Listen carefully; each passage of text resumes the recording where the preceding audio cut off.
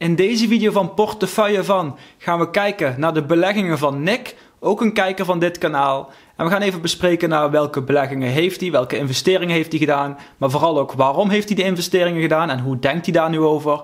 Ook een beetje bespreken hoe het de laatste tijd is gegaan, in de hoop dat jij er ook iets van kunt leren. En hij is natuurlijk zelf ook op zoek naar feedback. Dus laat die vooral achter onder deze video. Ik hoop dat je het een leuke, interessante uh, video of interview vindt. En dat je er zeker iets van kunt leren. Dus laten we beginnen met deze video.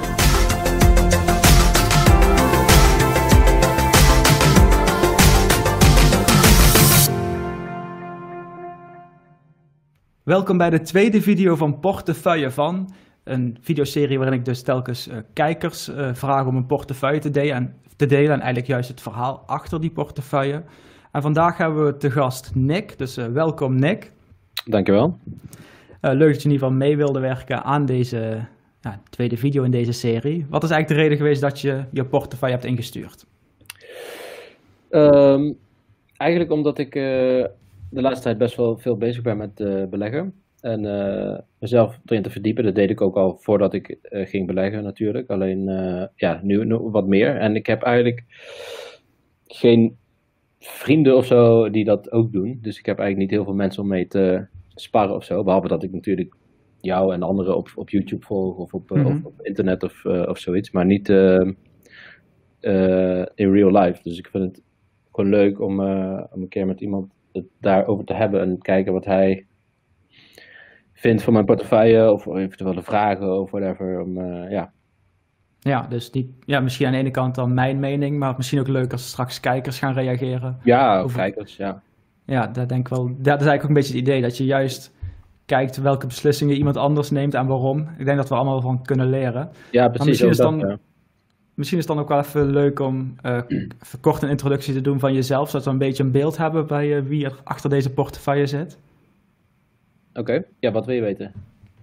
Um, je naam of ja, naam is Nick, we weten wel, maar misschien een klein beetje van hoe oud je bent of uh, uh, je situatie ja. of wat je werk is. Misschien dat we een beetje daardoor een beter beeld kunnen krijgen.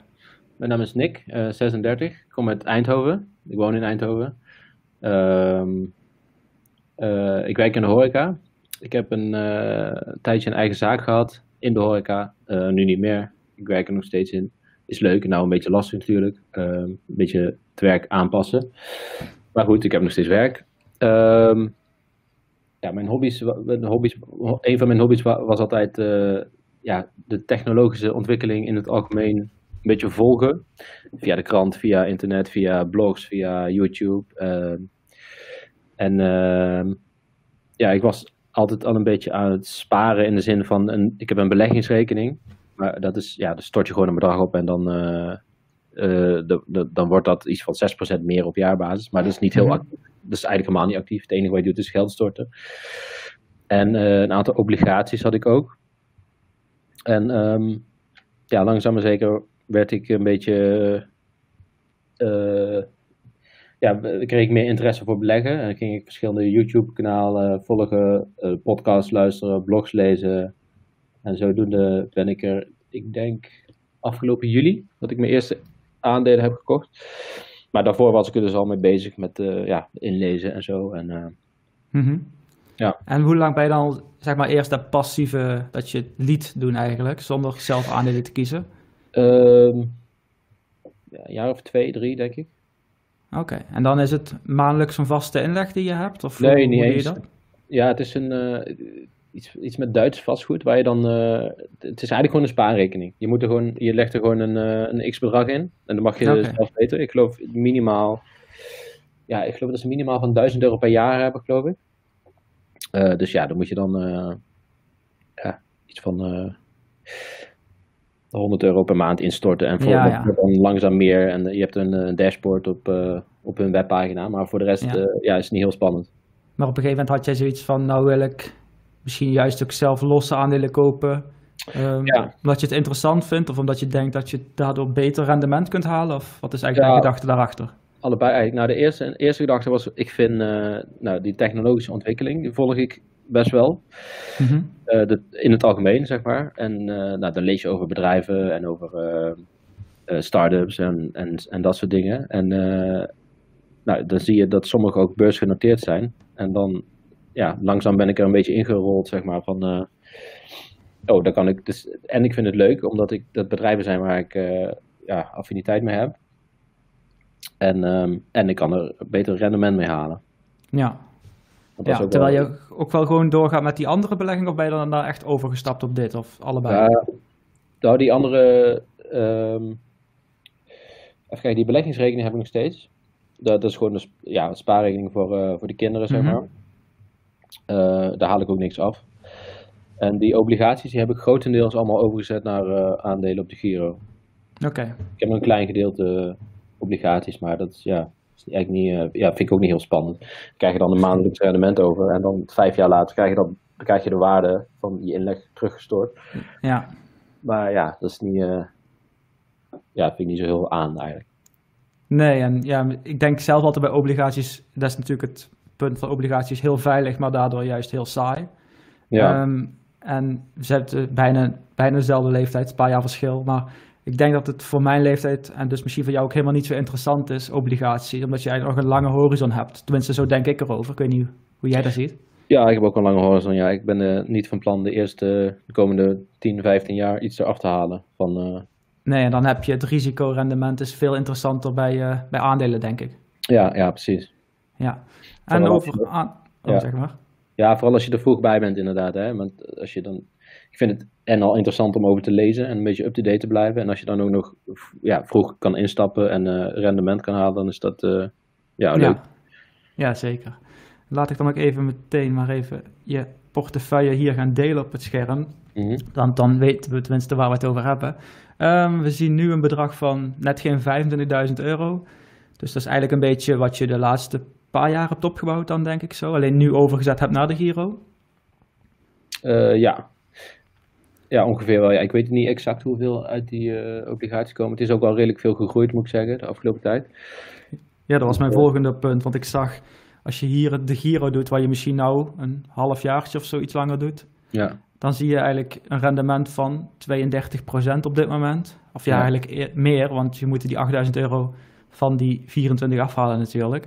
Dus dan heb je best wel een goed rendement gehaald in de tijd, in de laatste paar maanden. klopt.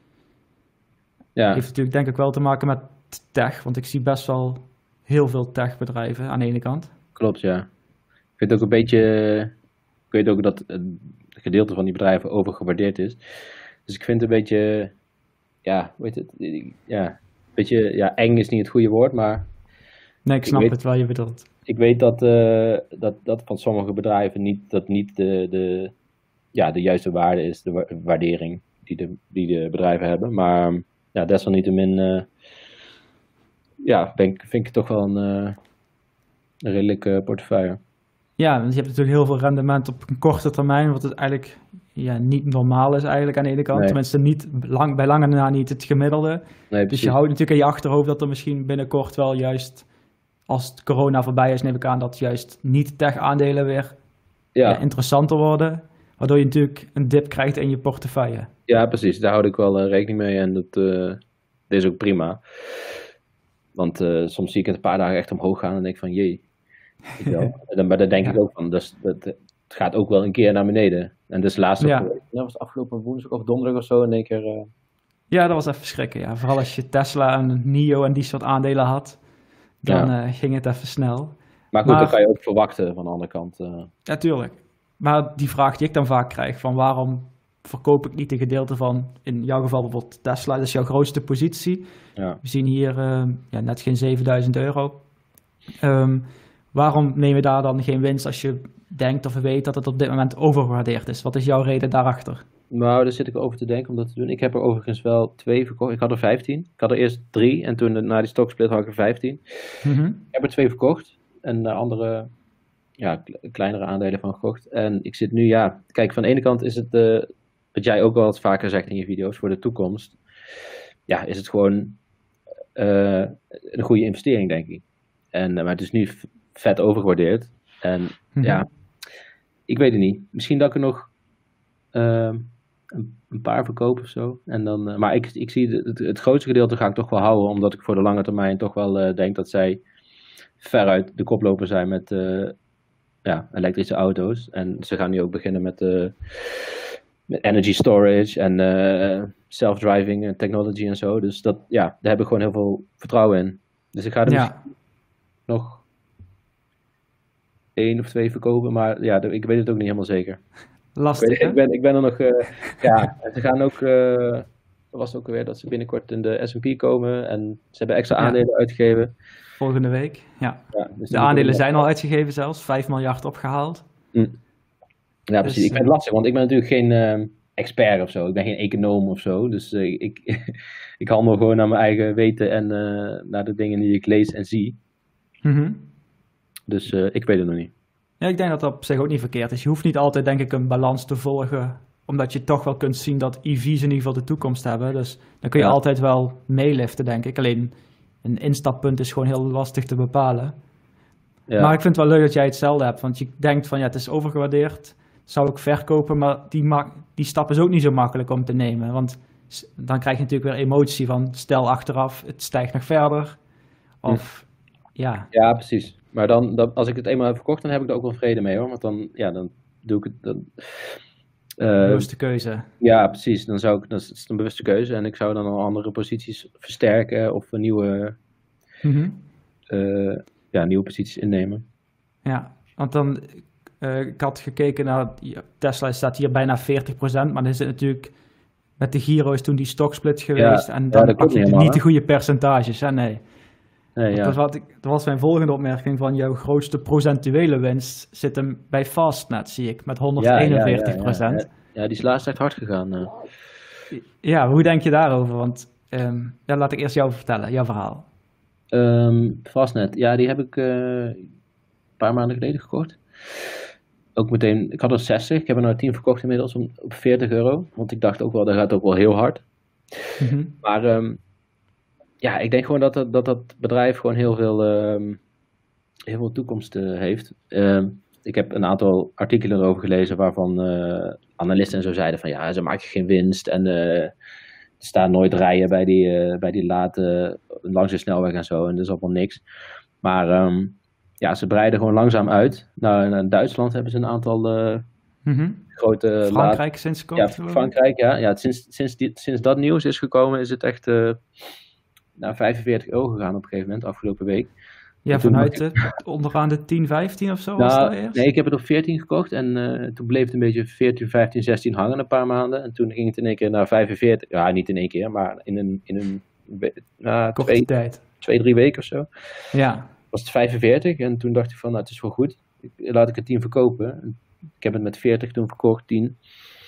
Want eh, ja, het ging wel heel hard. Maar ik ben wel van plan om die 50 gewoon te houden. Omdat, eh, ja, als je ziet, hè, er gaan gewoon langzaam gaan er gewoon meer elektrische voertuigen komen. En eh, Mhm. zij hebben gewoon het product wat zij hebben, die, die, ja, dus die, die snel laadpunten met eh, zonne-energie. En ehm, ze hebben dan ook een abonnement waar je kan, bij hun kan nemen. Dat het dan een klein stukje goedkoper is om je auto op te laden.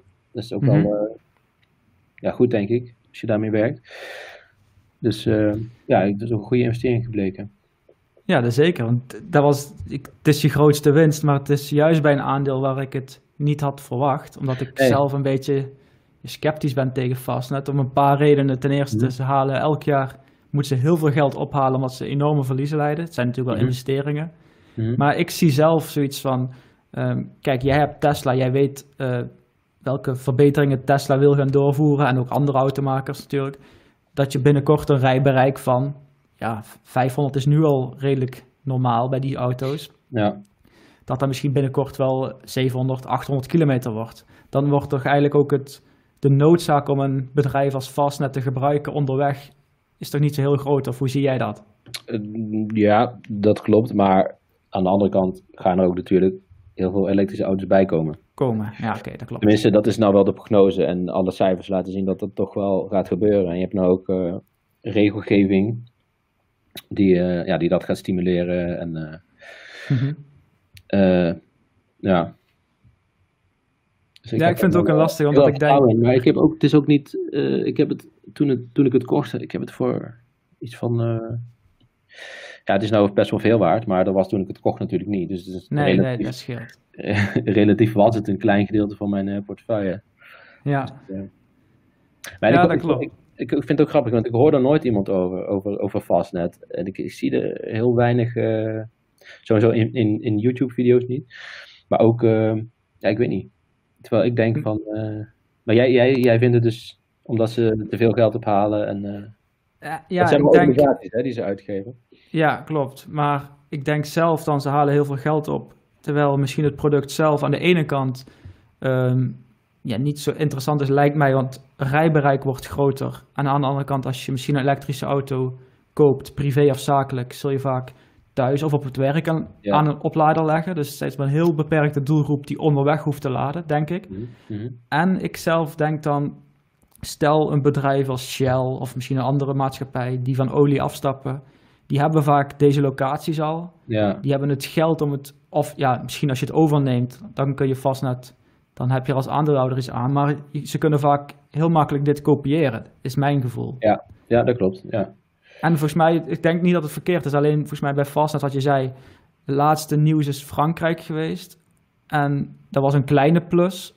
En in die weken daarna steeg het verder door, terwijl er eigenlijk Ja. geen nieuws was. Wat Nee, precies. Dat vond ik ook een beetje... ik kon het niet verklaren daarom. Ik ook niet. Dus ik dacht van laat ik mijn team wegdoen. Maar Ja. ehm, Maar dan heb je eigenlijk je inleg al terug een beetje. Dus dat is natuurlijk ook een, een Ja. fijn punt om door te gaan. klopt. En wat je zegt van eh, die, ehm, eh, die, die, die tankstations en zo, die hebben, een, eh, ja, die hebben die grond al en zo. Dat klopt, maar ze hebben er nog geen laadbaan staan. Weet Nee. je? En die andere, die Fastnet, die heeft dat al allemaal. die, Ja, die heeft heel, die, heel dat proces om die dingen te ontwikkelen. Te, ja, dat, dat hebben ze al staan. Ja, ze al. hebben, ja, dat klopt. En ze kunnen nog, er zijn nog heel veel groeimogelijkheden natuurlijk. Want ehm, ze hebben nou in Nederland, België, Duitsland en een paar in, in Engeland geloof ik. Dus ja, er is nog, er is nog best gewoon nog heel veel eh, ruimte om te groeien naar mijn mening. Ja, dat klopt. En waar je, wat, ehm, wat denk je van de volgende aandeel, waar je eigenlijk volgens mij je grootste procentuele verlies? Eh, Beyond Meat, min 30% bijna. Ja, ja ik, eh, die verliezen, dat, ja, dat, eh, dat doet me Een niet hoogpunt ingestapt, denk ik. Ja, ik, ik ben sowieso op een hoogpunt ingestapt. Ehm, ja, ik weet niet, ik, eh, ik vind het gewoon een. ik denk wel dat, dat mensen meer bewust gaan zijn van voeding en dat, dat die vleesvervangers die, hun ma die zij maken uiteindelijk ja, toch wel een beetje de. Nou, niet misschien de standaard, maar dat er wel veel meer gebruik van gemaakt wordt. Ook als je kijkt dat bepaalde fastfoodketens nou eh, Mhm. die producten gebruiken. Ik ben inderdaad hoog ingestapt, maar ehm, ja, ik weet niet, ik heb er wel vertrouwen in. Ik zie, ik zie niet, ik heb er ook, het is ook niet een hele grote positie. Ehm, en ja, ik laat het gewoon lekker staan. En eh, ja, Is dat iets wat je dan ehm, ook zelf merkt in de horeca al? Is, wordt er al mee gewerkt met vleesvervangers of nog niet zo? Mm,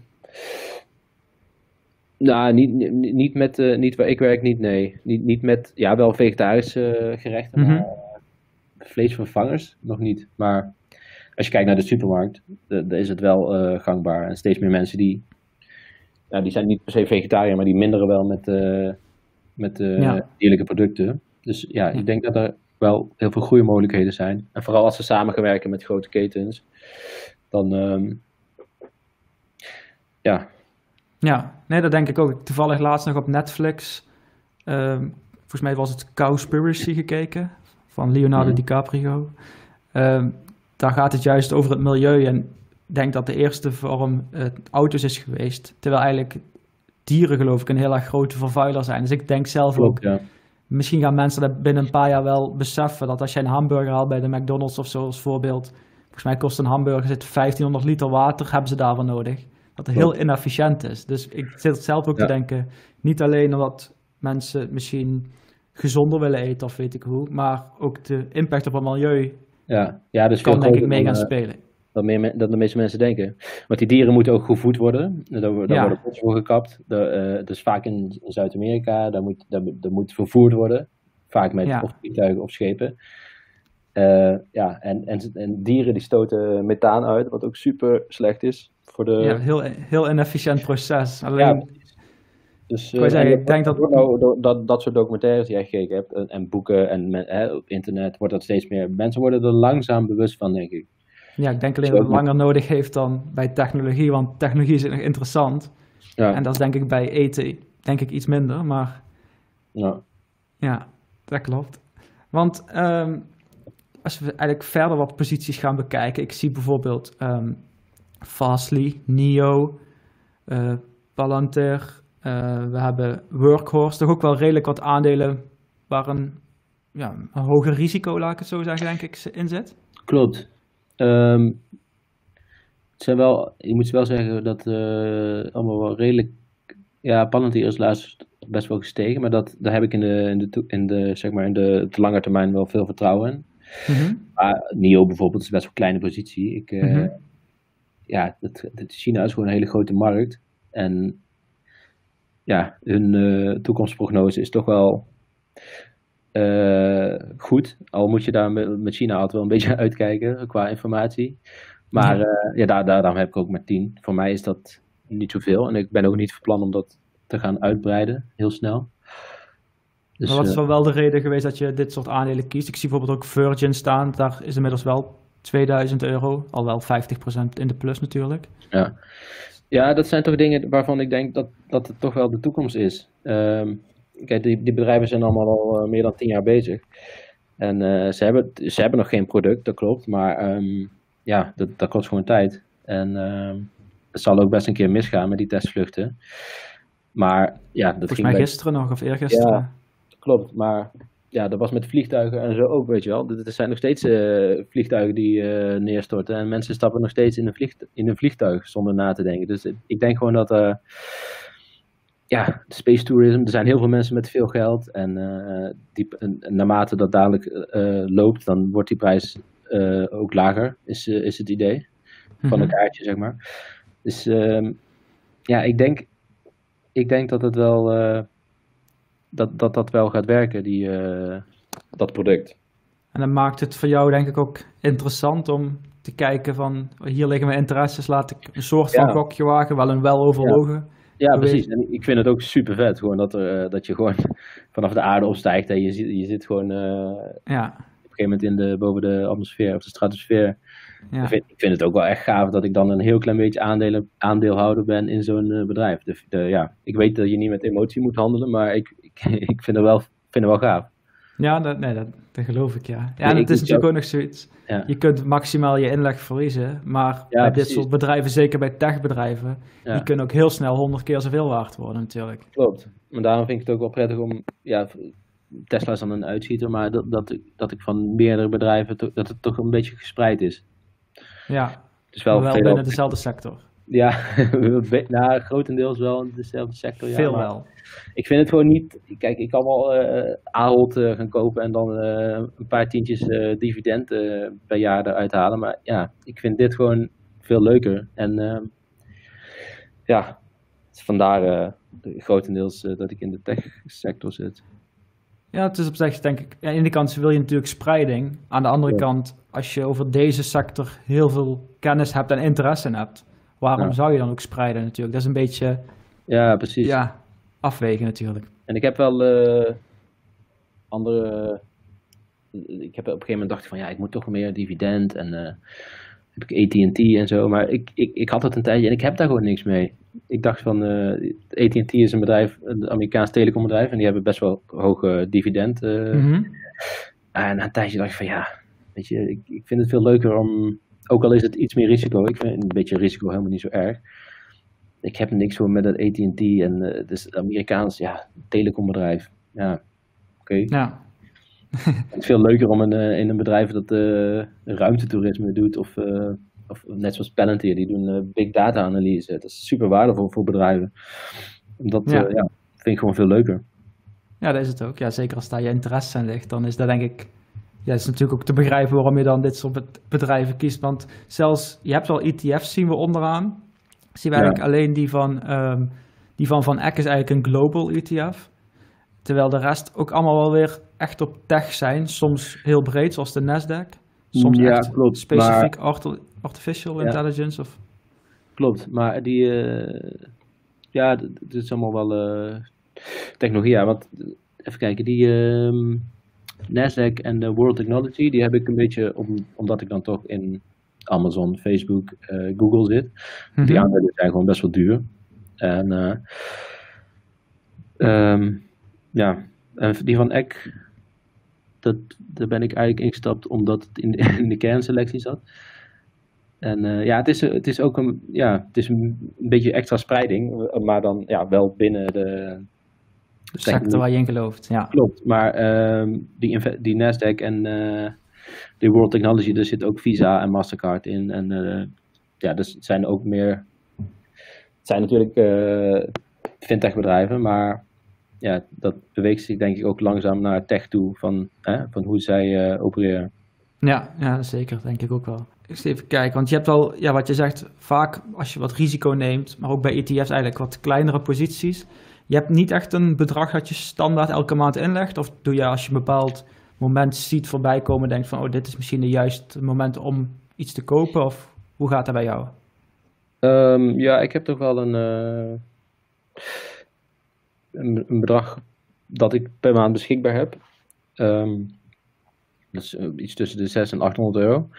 En uh, ja, dat hoeft, als ik kijk, net als nu, heb ik niet echt iets um, op, mijn, op mijn wishlist staan of zo. Ja, op dit moment. Misschien uh, dat ik als ik komende week een beetje onderzoek ga doen, dan weer wel. Maar mm uh, ja, dat is het geld wat ik beschikbaar heb per maand.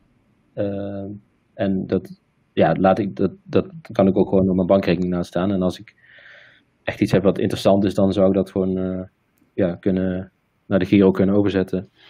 Want is het dan zo dat je dan um, eerst iets uitkiest en dan iets koopt? Of stel je vindt deze maand kom je niks tegen of uh, je hebt de tijd niet ervoor om iets uit te zoeken. Leg je dan toch die, die inleg gewoon in, maar dan misschien in een ETF of in een aandeel dat je al hebt? Of? Uh, ja, ja, dat verschilt een beetje. Meestal, ja, uh, ja, dat verschilt echt heel erg. Uh, ik heb laatst wel een paar posities uitgebreid die ik bij heb gekocht. Een Proces en, uh, en Alphen ook. Maar uh, ja, ja, ik weet niet. Dat, dat, soms denk ik, denk ik aan, oh ja, ik moet dit bijkopen. En dan ga ik een beetje onderzoek doen en dan ja, dan koop ik erbij. En soms denk je van, nou, ik doe even niks. En soms, ik zit nou te denken om weer die ETF's uit te breiden, omdat dat toch wel redelijk stabiel is, heb ik het idee. Mm -hmm die zijn niet zo heel, ja, dat gaat gewoon gestaag naar boven. Dat is niet zo super volatiel, omdat er natuurlijk zoveel bedrijven in zitten. Dus um, ja, misschien dat ik deze maand die posities ga uitbreiden. Ja, ja. Um, misschien is het ook wel leuk om dan iets. Wat is nou de laatste, sinds dat je misschien bij de Giro zit dan eigenlijk, want dat, ben je wat actiever. Uh, iets wat je nog geleerd hebt, of misschien wel van jezelf geleerd hebt, van oh, daar wist ik van tevoren niet of dat had wel impact op mijn beleggingen? Uh, ja, ik heb best wel veel geleerd over al dit, uh, over beleggen in het algemeen. Uh, dat het heel volatiel kan zijn. Ehm, en ja, dat je toch niet alles moet geloven wat je. Ja, je moet sowieso selectief zijn met wat je op internet leest en hoort. Maar ja, dat dat ja, dat sommige mensen er baat bij hebben als ze iets zeggen dat het dan de koers op, op naar boven of beneden gaat. Ehm, en uh, ja, dat uh, de gemiddelde aankoopkoers, dat er niet zo heel veel uh, zegt. En ook niet, ja, het gaat meer om wat een bedrijf in de toekomst gaat doen. En wat in het verleden is gebeurd, dat er niet zo heel veel ja, het heeft wel waarde, maar dat is niet het belangrijkste. Het belangrijkste is hoe het bedrijf ervoor staat en ja, wat hun toekomstprognose is, zeg maar. Mm Want ben je dan ook um, veel tijd kwijt met je beleggingen? Of gaat dat automatisch omdat je toch het technieuws in de gaten houdt? Um, ja, ik heb er nu al, uh, ik werk nu een stuk minder om, met, uh, ja, met, die, met de coronacrisis. Mm -hmm. Dus ik heb er nu ook wel tijd voor, ja, s'avonds en uh, de podcast luisteren of video's en ja, ik uh, ben er wel, uh, ja, ik weet niet, het voelt, meer, het voelt niet als een uh, verplichting of zo. Het is meer dat ik het leuk vind ook om te volgen en denk van, oh, nieuws. Ja. kijk wat er nieuws is of dat er, dat er bepaalde mensen een nieuwe video hebben of zo. Vind ik wel leuk om, om naar uit te kijken, zeg maar. Ja, ja, volgens mij heb ik de, in de video van afgelopen vrijdag kwam een nieuwsbericht dat er heel veel mensen zijn gaan beleggen. Ja, De ja. eerste reden was de lage rente natuurlijk, want sparen levert je niks op. Nee, nee, nee. Maar ten tweede natuurlijk ook omdat mensen inderdaad tijd over hebben. Ja, En ik denk ook wel een beetje zelf richting hun pensioen, omdat dat denk ik ook een beetje onzekerder lijkt te worden. ja. Ja, dat, dat, weet, dat, dat weet ik niet of dat pensioen onzeker. Misschien dat het iets minder gaat worden, maar Of ehm, misschien zelf meer in de hand wil nemen, laat ik het Ja. zo gaan zeggen.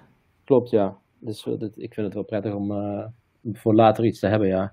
Ja, En, eh, ja, mijn, mijn, mijn vader die, die, die belegt ook een beetje. En die zei, ja, dat, van dat pensioen, dat moet je niet geloven. Want toen ik jong was, toen zei ze ook al van, oh, er is later minder pensioen en zo. Maar, dus ik weet niet of dat, eh, ik denk niet dat het in Nederland, dat het, dat het op termijn gaat zijn dat je geen pensioen meer krijgt. Misschien wel iets minder. En, ja de, ik wou zeggen, de, de zekerheid gaat er toch vanaf. Het is Ja. niet meer een vast bedrag, maar je, ja, je bent afhankelijk van de markt. Ja, en ik denk vooral omdat er met banken een probleem is. Want banken, ja, ik bedoel, die banken die worden gewoon langzaam maar zeker. Die beginnen een beetje hun, eh, hoe zeg je dat, hun product te verliezen of zo. Dat, ik denk dat die er toch wel redelijk worden ingehaald. Ik, ik, dat ze gewoon op termijn een beetje overbodig worden. Mhm. Die fintech-bedrijven dat gewoon overnemen. Wat je nu al ziet met, met PayPal en Square en zo. En ja, ook Bitcoin. En dat zal Ja. niet eh, van de een op de andere dag gebeuren. Maar ik denk wel dat die toch wel in een ander verdienmodel moeten gaan. eh, Ja, als, zoals Ja. ik het nou zie, hè. Van, eh, ja. Maar dan heb je op dit moment alleen PayPal daarin zitten. Dus ja, klopt. is wel ja. iets waar je daar aan het kijken bent dan? Zo'n bedrijf als Square of Ja, op zich wel. Alleen, ehm, nu een beetje hoog helaas- gewaardeerd. ja, het is een beetje hoog gewaardeerd. En het is ook, de prijs is van het aandeel is ook hard gestegen. Maar dat vind ik wel heel interessant. Ik zag laatst ook een video van, mij van, van Cathy Wood. Die, die, die, die liet zij een, een chart zien van eh, dat, eh, ik geloof, Square stond al op nummer 2 van het aantal transacties in Amerika. Eh, weet je, zo snel gaat dat. En eh, PayPal stond op de vierde of de vijfde plek of zo. Dus dat, Ja. dat, dat gaat super snel. En die banken, dat, dat stond nog wel een bank op één, volgens mij JP Morgan of zo. Maar ja, als je als, als, als Square Een jaar verder bent, dan is het misschien anders. ja, dat is echt, eh gaat bizar snel hoor. Ja. ja, dat is denk ik vaak met dit soort veranderingen. Dat duurt heel lang en dan op een gegeven moment gaat het in één keer inderdaad Ja. heel snel. Want ja, het is geen lineaire curve. Het is zoals ik vaak zeg een S-curve. Ja. Dus dan is een jaar verder vooruitkijken in één keer totaal anders. En dat denk ik ook dat, dat veel jonge beleggers, die, die zijn daar iets meer mee bezig. Dat, dat merk ik wel een beetje. Want ik luister ook wel eens BNR Nieuwsradio, die heeft ook een beleggingsprogramma. En dan zitten dan van die, van die mannen die dan al super lang dit doen. En die alles ervan weten, maar die hebben het dan over van die bedrijven. En denk ik van ja, weet je, dat, is, dat, is gewoon, dat is gewoon niet waar, eh, waar, waar de ja, waar de, waar de mensen nu mee bezig zijn met dat soort bedrijven. Het is misschien, misschien hebben die, dat natuurlijk zijn dat solide bedrijven en die hebben dividend en zo. En, maar echt, ja, ik denk dan van, eh, daarom denk ik ook dat veel jonge mensen nou gaan beleggen, omdat ze gewoon interesse hebben in andere dingen. En die, die, die, die zien die technologische vooruitgang echt. Ja, ja ik denk En- inderdaad, die kunnen misschien beter inschatten. Ja, Ehm, die zijn misschien iets comfortabeler met risico, maar die kunnen ook het risico nemen, omdat ze waarschijnlijk, als ze echt voor de lange termijn willen gaan, nog ja, genoeg tijd hebben om te herstellen als het mis mocht gaan natuurlijk. ja. Ja, ook dat. Ja, dat biedt dan misschien wel kansen. Ja. En misschien dan een, eh, als laatste vraag om het af te sluiten, misschien een, of een vraag, een tip eigenlijk die je nog hebt voor de kijker van deze, of de luisteraar van deze video.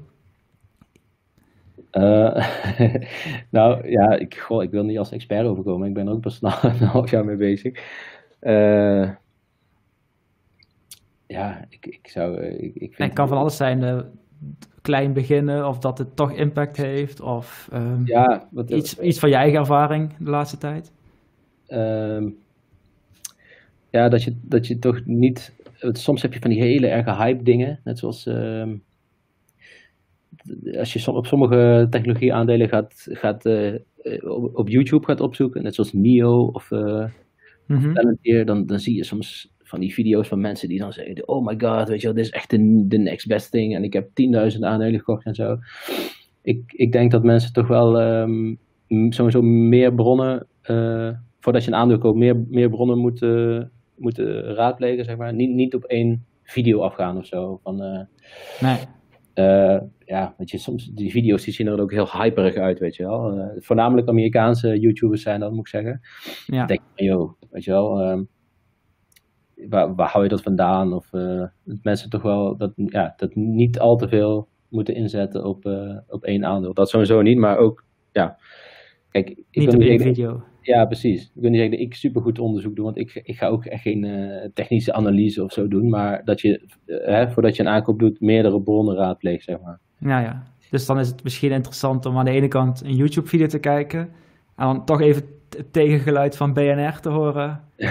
ja, om toch even een beetje weer je, je, ja, je verwachtingen te temperen. Maar dan heb je wel een eerlijker beeld. Of dat, of even het bedrijf googelen. Wie zit er dan nou precies in? Niet dat het mensen, hè, als een bedrijf dat is Palantir, dat bedrijf bestaat al, uh, al 20 jaar geloof ik. Weet je wel, die zijn pas laatst naar de beurs gegaan, maar dat is gewoon, is, is al een bedrijf met een solide product en een, en een, eh, ja, die hebben klanten over de hele wereld en de Amerikaanse overheid en weet ik veel. Dus dat is gewoon, zit wel goed, maar ja, dat, dat je dat toch even een beetje nakijkt, onderzoek doet. Nou, ja, ik denk vooral wat je zegt op dit moment als bedrijven nu naar de beurs gaan. Ik zat straks het bericht, de de krantje te lezen van IEX. En daar stonden dan IPO's of specs ook nog in, het overzicht. En zeg maar, vorig jaar haalden ze 13 miljard op of zo. En dit jaar was er al 70 of 80 miljard wat ermee op werd gehaald. En dat zag je ook wel bij Airbnb zo overgewaardeerd. Maar ja, juist ook omdat er zoveel nieuws over is. Uh, Heel veel YouTube-video's. Dus misschien is dat wel een, uh, ja, goede ja. wat je zegt, ja. Ja. Mooi. Dan uh, denk ik dat we daarmee wel het deze video of het interview wel kunnen afsluiten. Ik vond het in ieder geval interessant om jouw beeld te horen, want uh, als ik jouw ja, aandelen bekijk, dan zou je heel veel verwachten dat je ook iets met technologie doet, maar je werkt juist in de horeca, dus ja. vond ik wel leuk om te leren. En ook juist de gedachtegang achter bepaalde dingen. Dat je toch ook wel risico neemt, maar tegelijkertijd ook wel weer je winst neemt op bepaalde momenten. Zoals ja. bij Tesla of bij, uh, bij Fastnet. Vind ik wel interessant. En ik ben ook erg benieuwd. Ik moet wel zeggen, dat zijn wel geloof ik de enige hoor, die, uh, waar ik dat heb gedaan. Bij uh, Tesla en Fastnet. De rest, voor de rest heb ik nog geen... Oké, okay, maar er zijn ook al hier wat grotere posities inmiddels. Ja. Waar je de meeste winst hebt gepakt. Dus. Ja. Ja, mooi om te zien. Nou, ik ben ook erg benieuwd wat de kijkers... want jij was eigenlijk ook op zoek naar een beetje naar feedback. De reden waarom je meedeed. Dus ja, ja, laat, ja. We, laat vooral weten onder de video wat de kijkers... wat jij daarvan denkt. Ja, of je nog tips hebt of ander beeld. Dus denk ik wel leuk om terug te lezen. En dan wil ik jou in ieder geval bedanken voor deze video. Mocht je trouwens als kijker zijn ook nog mee willen doen aan dit soort video's. Um, stuur even een mailtje naar ruud.passiefeinkomen.nl en wie weet kunnen we in de toekomst uh, jouw uh, portefeuille wel bespreken. Dus uh, ja, ik denk dat we daar wel mee, mee hebben besproken. In ieder geval dankjewel voor het meedoen Nick. Graag gedaan, was leuk. En hopelijk krijg je nog wat leuke reacties. Ja, is goed man. Bedankt. Jo. En tot zover deze video. Ik hoop dat je het interessant vond, dat je er iets van hebt kunnen leren. En dat je misschien ook wel feedback hebt van Nick. Dus laat dat vooral weten in de reacties onder deze video. Bedankt voor het kijken. Vond je het een leuke, interessante video? Geef zeker even een duimpje omhoog. Dan weet ik welke video's jullie leuk vinden. Kan ik meer van dit soort video's maken. En je helpt het YouTube kanaal. Want deze video wordt aan meer mensen aangeraden. En wil je zelf nog meer video's zien, maar ben je nog geen lid van het kanaal? Ik maak elke week drie video's die gaan over persoonlijke financiën, investeren en beleggen of passief inkomen. Dus klik onder deze video op abonneren. Klik op het bel-icoontje om altijd weer een melding te krijgen als er een nieuwe video online staat. En dan hoop ik jou graag bij de volgende video te zien.